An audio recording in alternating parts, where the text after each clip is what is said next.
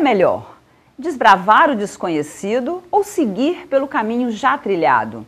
Tomar uma decisão pode ser tão sofrido e nosso cérebro, essa máquina potente, prefere fazer o circuito que já conhece.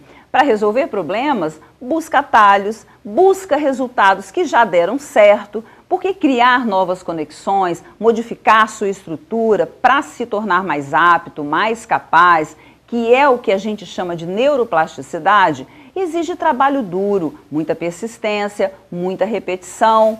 Então, lidar com um cérebro conservador quando a situação exige criatividade, quando a gente precisa inovar para se adaptar. Não tem jeito. A questão entre escolher experimentar o novo ou continuar fazendo o que sempre fez é, pesa na balança a razão, a emoção, a segurança, o risco. Toda escolha traz um ganho e uma perda. Nossa coluna hoje traz uma dica que pode ajudar nos momentos em que você precisar decidir entre ficar engabrielado, que é nascer assim, crescer assim, você sempre assim, ou assumir o risco do novo. É, não tome decisão de barriga vazia.